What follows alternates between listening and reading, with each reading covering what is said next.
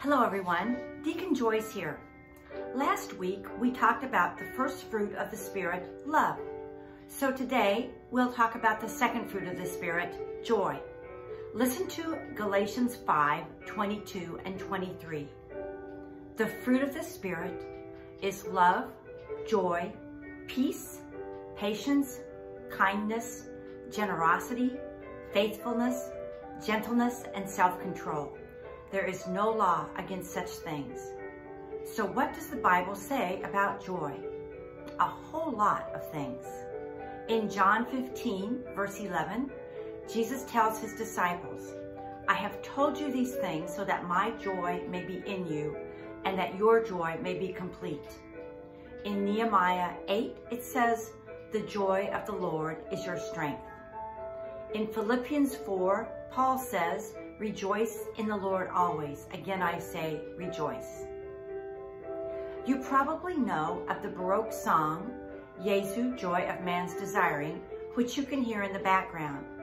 I had always thought that Johann Sebastian Bach had written it entirely, but I recently learned that a man named Johann Schop, who was a little younger than Bach, actually wrote the melody.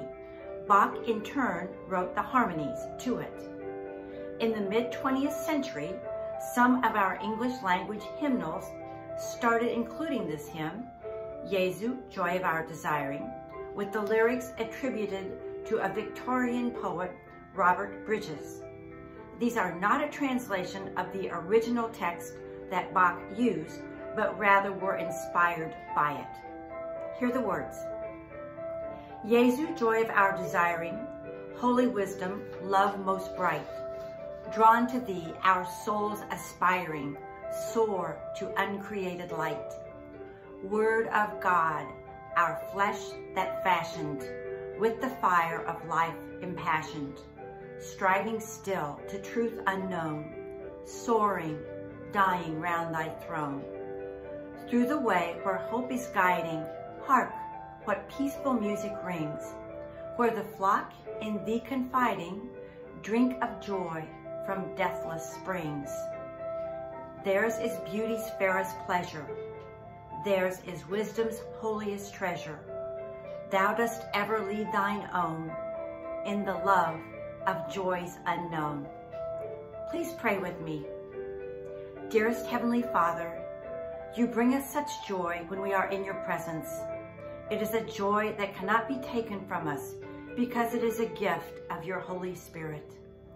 Please help us to live out and share this joy with others so they too may know what it is to live in your love and joy. In your holy name we pray. Amen.